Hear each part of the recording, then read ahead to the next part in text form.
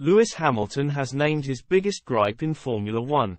Lewis Hamilton has named Pirelli's current 18-inch tyres as his biggest frustration in Formula One, even more so than Mercedes' lack of pace. The Brit has endured a steady fall from grace over the years, with his hopes of winning a record-breaking eighth Drivers' Championship title fading fast. Hamilton has been unable to fight for Grand Prix victories over the last three seasons as a result of Mercedes slipping down the pecking order. They are currently the fourth quickest team on the grid, having been surpassed by Red Bull, Ferrari and McLaren since 2021. The 39-year-old has made no secret of his frustration at how Mercedes have fallen away from the top, but the current tyres are his biggest gripe with their narrow operating window making it difficult to maintain the right temperatures. Speaking ahead of this weekend's Emilia-Romagna Grand Prix, Hamilton said, I think we're just working in a really, like, minuscule window of tyre temps.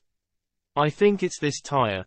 Definitely, in all my career, I don't remember ever having such a small window of working. Honestly, it's probably the most frustrating thing. You look back in the day where you had a much bigger working window to work with. Then you can just optimize the balance and then just have good grip throughout the whole lap. This is definitely my least favorite.